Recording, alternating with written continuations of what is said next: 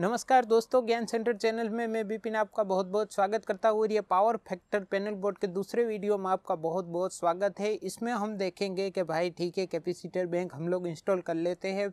MCB है contactor है, कौन सा वायर कहाँ पे जाता है, किस तरह के इस पैनल बोर्ड की पावर वायरिंग होती है, सारी चीज़ें हम लोग यहाँ समझने की कोशिश करेंगे। तो यहाँ पे बात चल रही है पावर वायरिंग की तो सबसे पहले सप्लाई हम यहाँ पे देते हैं। जो भी आपकी गवर्नमेंट से आ रही है सप्लाई उसका कनेक्शन डीजी वाला अलग हो जाएगा, ठीक है? डीजी में ये डिस्कनेक्ट हो जाएगा पैनल बोर्ड इसका कोई कनेक्शन नहीं है। जब डीजी का पावर हम लोग लेते हैं तो पावर फैक्टर पैनल का हम यूज़ नहीं करते तो पावर फैक्टर में ये डीजी में डीजल जनरेटर में ये यूज़ नहीं होगा। गवर्नमेंट या फिर कोई कंपनी की तरफ़ से पावर सप्लाई आती है, उसमें ये यूज़ होगा। वहीं पावर यहाँ पे हम लोग इनपुट करने वाले यहाँ पे आपने इसको करंट दे दिया है, इसमें पावर सप्लाई आ गई है, यहाँ से कहाँ जा रही है, ये देखिए। ये इनपुट सप्लाई आ गई, यहाँ से ऑन ऑफ़ हो सकता है, कोई भी प्रॉब्लम आया या इसको मेंटेनेंस करना है तो इसको बंद कर सकते हैं हम लोग। ये एमसीसीबी लगा हुआ है, जिसका रेटिंग है 600 सौ का। चलिए अब आगे बढ़ते हैं। ये सप्लाई यहाँ पे आ जाएगी और यहाँ से देखिए पावर बैंक के लिए अलग अलग वायर निकाले हुए हैं। जैसे कि देखिए, ये वायर इस साइड के पावर बैंक में यहाँ पे जा रहे हैं।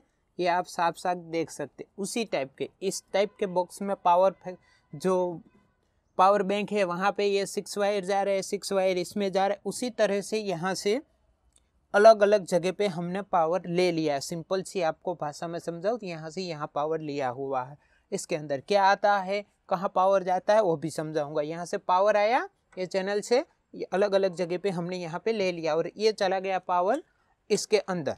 चलिए, अब देखते हैं इसके अंदर क्या आता तो आपको यहाँ पे साफ़ साफ़ दिख रहा है, जो ये वाला यहाँ से वायर आया है, वो आया है हमारी ये एमसीसीबी में। सबसे पहले एमसीसीबी में पावर जाएगा M C B M C C B से होके यहाँ पे जाएगा, यहाँ से कॉन्टेक्टर में गया, ठीक है? बी में यहाँ से हमने पावर ले लिया। एम सी कॉन्टेक्टर में गया और कॉन्टेक्टर जब ऑन होगा, तब ये पावर कहाँ जाएगा, वो भी मैं आपको दिखाता हूँ। देखिए, यहाँ से वायर निकला हुआ, ये वायर कहाँ जाता है, वो भी अभी आपको पता चल जाएगा कि ये वायर कहाँ गया है। वो यहाँ पे आया, ये देखिए, ये कहाँ पे गया है, ये गया हमारे पावर बैंक के अंदर, इसके अंदर चला गया, ठीक अंदर कैपेसिटर बैंक भी आप इसको बोल सकते हैं, इसके अंदर लगे हुए हैं कैपेसिटर तो कैपेसिटर में गया, जब भी कॉन्टेक्टर ऑन होंगे तो ये कैपेसिटर ऑन हो जाएँगे, कॉन्टेक्टर ऑफ़, ये कैपेसिटर बैंक ऑफ़ हो जाएगी। उसी तरह से जितने भी चैनल है, इसको हम चैनल बोल सकते हैं, वन, टू, थ्री, सभी चैनल में यहाँ पे वायर जाता है, लास्ट में पावर वायरिंग जाती है। पावर फैक्टर बैंक के अंदर या कैपेसिटर बैंक के अंदर जाती है। और यहाँ पे आप देखिए सीटी लगा हुआ है, ये कुछ नहीं है। इसका एम्पियर रेटिंग दिखाने के लिए आगे हमने गेज लगाया हुआ है ताकि एक एक चैनल का एम्पियर भी हम रेटिंग यहाँ पे देख सकते हैं। बस उतना ही है, इसका कंट्रोल वाइंग कुछ नहीं सिटी मैंने ऑलरेडी वीडियो बनाया कैस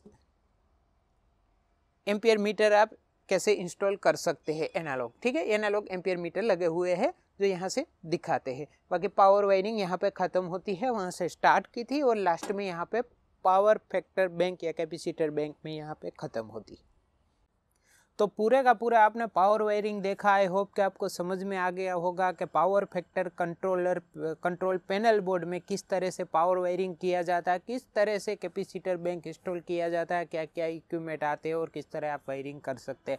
अगर समझ में आ गया तो वीडियो को लाइक कर दीजिए वीडियो को शेयर कर दीजिए और हाँ चैनल को सब्सक्राइब करना ना भूलें, क्योंकि यूट्यूब में ऐसे वीडियो आपको बहुत ही कम मिलेंगे। जय हिंद, वंदे मातरम।